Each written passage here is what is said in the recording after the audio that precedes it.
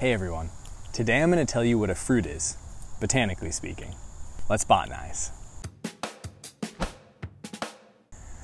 Colloquially, we use the term fruit exclusively to describe sweet, fleshy fruits like this blueberry.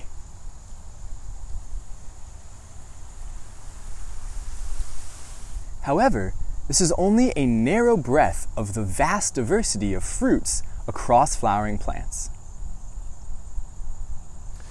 So let's take a step back and ask what a fruit actually is. In the simplest form, a fruit is a modified leaf that's wrapped around the developing seed. We know that this is the case from developmental work as well as from the fossil record. If we look back in time, we see that some of the earliest seed plants produce seeds on the bottoms of unmodified leaves. Over geologic time, these heavily modified seed-bearing leaves, which we call carpels, have evolved a variety of different structural and functional traits, leading to the diversity of fruits that we see today.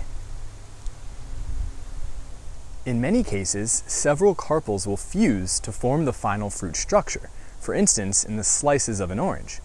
In other cases, the carpels or the fruit will fuse with other floral organs, like in the apple, where the base of the flower engulfs the carpels, forming the fleshy part that you eat.